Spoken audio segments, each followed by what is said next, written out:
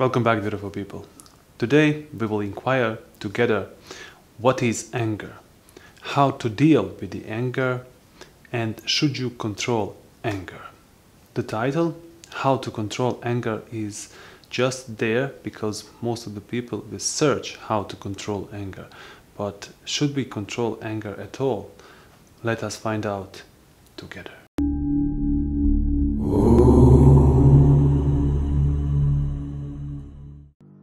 Before we start, as always, we should put the boundaries to our inquiry. In this inquiry, there is no guru and there is no students. We are just two friends inquiring together, finding an answer, looking free from your own knowledge and looking for the facts. Now, that is very important when we are inquiring because if we find a fact, we are sharpening our mind. But if we deal with the illusions, we cannot find an answer. So, let us start now and inquire deep and find the fact together. So, first, what is anger?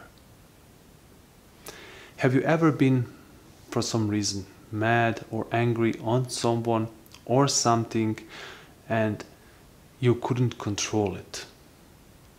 So you instantly realize you are angry and your first thought is to control the anger. But is the control answer? And is there another way to deal with the anger?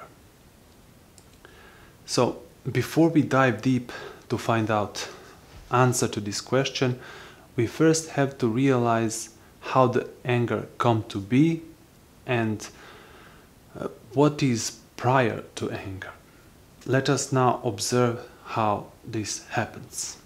Let's say you do not like when someone take your seat and you are at your work and you're coming to your place and you are observing and seeing the person sitting in your place and you have told that person so many times do not sit in my place. And the first thing that happens is there is registration that someone is there.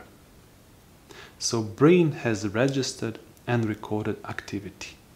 As soon as it's done that the thought comes to being and says i have told him so many times do not sit in my place when you say that, there is reaction inside of your body.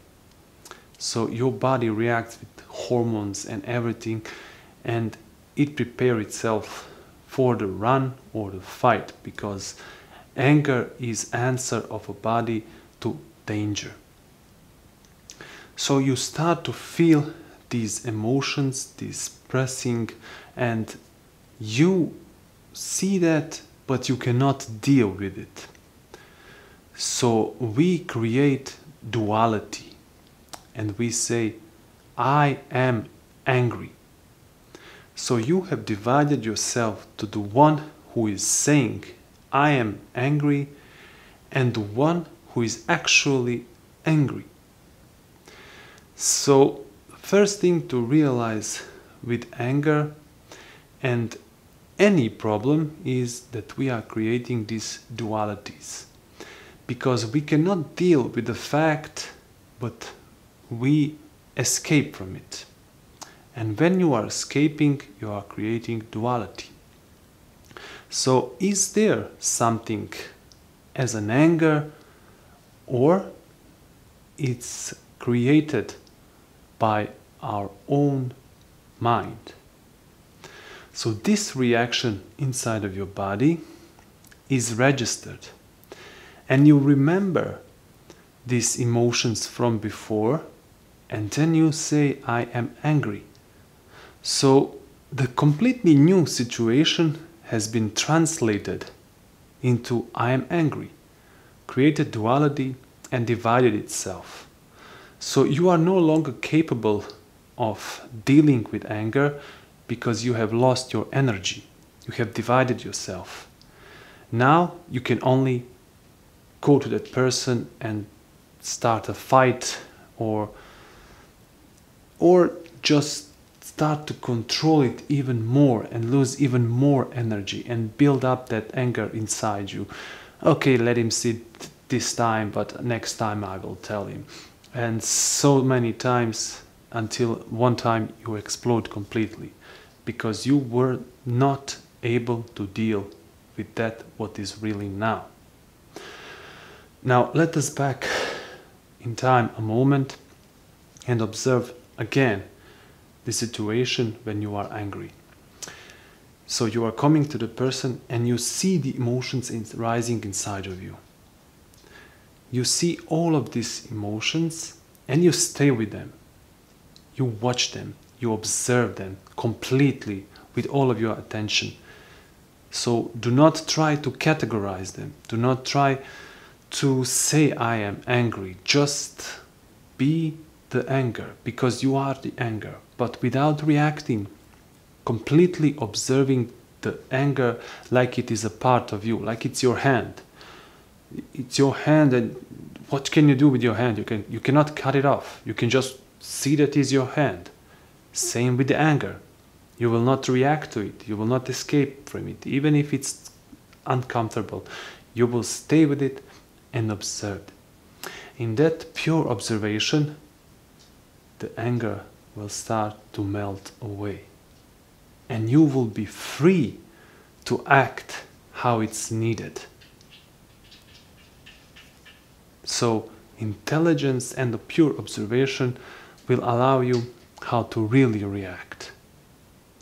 You will not overreact, you will not be angry, you will just do what is needed to be done without anger. And that is pretty much how we deal with the anger. So, without control and without trying to escape or to stuff it inside us. And there is one more very important thing to realize, and that is when someone else is angry on us. So you have seen the person so many times comes to you and he or she is very angry at you the first thing you do, as always, your brain register that someone is angry on you. And you see their state. And this is somehow known to you because it has happened before. And your brain automatically reacts by bringing these thoughts. He's always angry with me. Why is he or she always angry at me? And this thought of yours also creates anger inside of you. So their anger created your anger. But if you are observing the person, if you are watching, if you really observe completely, you will see that it is the state in which is the person right now. And you will be free to react intelligently and not become angry yourself. You will see the person, you will know what you need to do, and you will not take their anger on yourself. Rather, you will deflect it, and maybe with only one word, you will completely stop their anger. Why are you angry at me? So, try this as always.